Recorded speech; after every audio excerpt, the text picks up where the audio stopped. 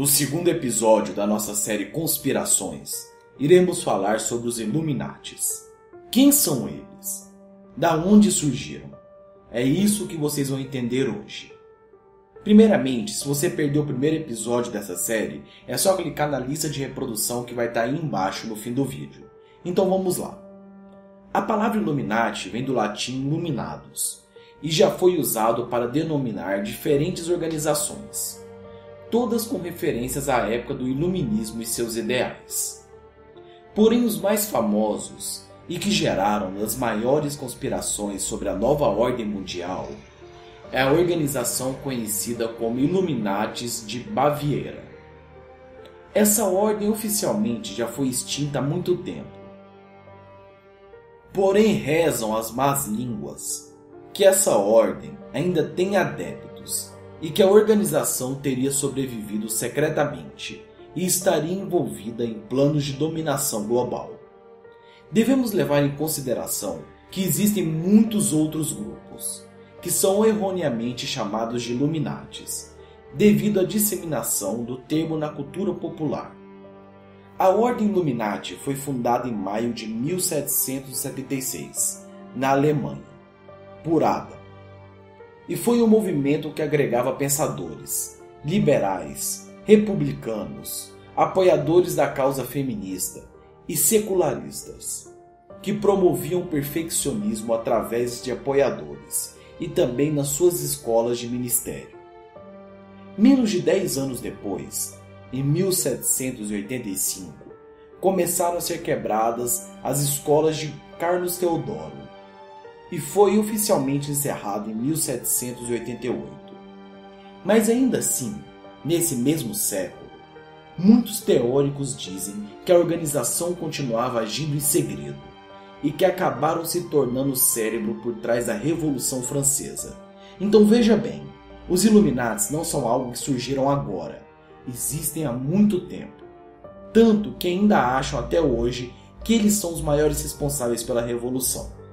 Ao longo dos anos, muitos outros apoiavam a ideia que os Illuminates de Baviera continuavam presentes nos maiores eventos da humanidade, como as revoluções que ocorreram no século XIX e as guerras do século XX.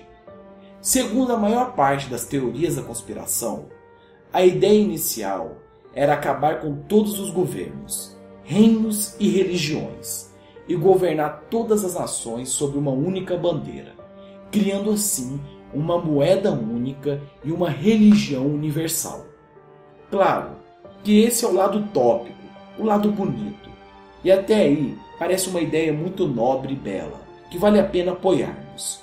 Porém, as reais intenções, falando do lado mais conspiratório, eram a abolição das sociedades privadas, das classes sociais, acabar com todo o direito de herança, o fim de qualquer patriotismo ou nacionalismo, a abolição do conceito de família e, finalmente, a proibição de qualquer tipo de religião, de forma a criar um ateísmo global. Ou seja, eles acreditavam que religião ajudava a empobrecer a mente do homem. Então eles queriam acabar com todas as religiões, começando pela Igreja Católica. Muitas teorias sugerem que os membros dessas organizações estariam infiltrados no governo dos Estados Unidos, dizendo que muitos de seus fundadores teriam sido corrompidos pela Ordem Illuminati. Essa é uma teoria extremamente antiga que vai voltar no canal no próximo vídeo sobre conspirações. Mas vamos lá. Acreditando que essa influência surgiu a partir da fraternidade criada na Universidade de Yale, a famosa e misteriosa Skull and Bones, que em português é Caveira e Ossos, de onde saíram nomes como William Taft, que foi o 28º presidente dos Estados Unidos, e também William Harriman, que além de embaixador dos Estados Unidos, também já foi governador de Nova York e conhecido por todos nós. E também George Bush, o 43º presidente americano. Estamos falando do Bush pai, não do Bush filho. Além disso, também existem as famosas imagens da nota de um dólar americana, conhecido como o Grande Selo dos Estados Unidos. Consiste em uma pirâmide inacabada, tendo seu topo o Olho da Providência, e acima disso tudo a frase Anuit coeptis. E abaixo tem escrito Novus Ordo Seclorum, que respectivamente tem seu significado aproximado de Ele aprova nosso empreendimento e também Nova Ordem do Século. Esses símbolos significam presença dos Illuminates, mostrando o grande olho sobre tudo e todos, dominando o restante da pirâmide. Vamos falar sobre a influência também que tiveram nas duas guerras mundiais, comprovada através de uma série de cartas escritas entre 1870 e 1871, que estariam sido mantidas em sigilo no Museu Britânico, que nega completamente toda e qualquer existência das tais cartas. As cartas teriam sido escritas por Albert Pike, um general de brigada confederado da Guerra Civil do Norte Americana, que dirigia todas suas cartas para Giuseppe Manzini, um filósofo e político italiano.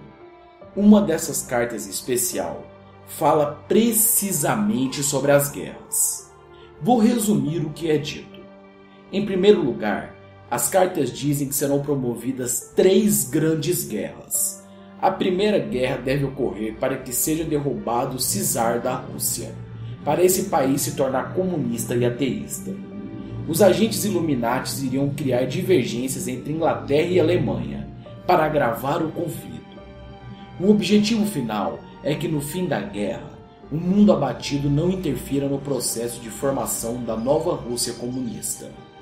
A Segunda Guerra teria que servir para destruir as ditaduras e que para o sionismo político se tornasse forte, para instituir o Estado soberano em Israel e Palestina. O comunismo tem que se tornar forte o suficiente para bater de frente com o mundo cristão tradicional. Porém, isso tudo não deveria acabar de vez, para voltar a ser usado futuramente. Agora preste bem atenção no que eu vou dizer pois sabemos o que foi dito sobre a Terceira Guerra, que ainda não aconteceu. Esta guerra tem que forçar o Islão e o sionismo político, que seria Israel acabar e destruir completamente, veja bem, destruir completamente as outras nações e ao mesmo tempo se destruindo mutuamente e assim, quando estarem divididas no conflito, continuariam lutando até a exaustão, tanto física quanto econômica e espiritual. Assim, vamos liberar completamente os nihilistas e os ateus, e assim será formado o cataclismo mundial, mostrando tudo que as religiões e os nihilistas e ateus trouxeram ao nosso mundo, todo o horror, e por que temos que nos unir a uma única ordem. Assim, a própria civilização para se defender, acabaria destruindo eles mesmos e desiludido com todas as religiões por causa da guerra e suas atrocidades. Assim, não teriam mais a quem seguir e precisariam rapidamente de um novo ideal, porque o ser humano necessita de ideais para sobreviver. Então eles receberiam assim a verdadeira luz universal pela doutrina de Lúcifer, destruindo os causadores do mal que seriam a cristandade e o próprio ateísmo. Como assim, Ambu Lúcifer? Calma. Para quem não estudou o satanismo, para quem não sabe o que é satanismo, tá um vídeo na descrição para você entender melhor a doutrina. Satanismo não é fazer sacrifício para bode, ou para demônios, ou para capeta. Tem nada a ver disso. Fiquem tranquilos. Cliquem no vídeo que vocês vão entender o que eles querem trazer, que são os ideais de honra, os ideais de que se alguém faz mal a ti, você pode também ter o direito de fazer mal a essa pessoa, enfim. Então o que os Illuminati querem é dominar a humanidade e trazer uma nova ordem, destruir a ordem atual e implantar um novo sistema de governo e também destruir as religiões. Mas a questão é, o que os Illuminates fizeram ao passar da história? É isso que vocês vão saber na nossa série de conspirações. Esse foi o primeiro episódio de três sobre os Illuminates. E ah, caso você tenha gostado da série, clica na playlist para você assistir o vídeo passado e lembre-se sempre: teorias conspiratórias não são confirmadas se são reais ou não. Não existem verdades absolutas. Olá, minhas crianças! Como tem passado? tem dormido bem à noite.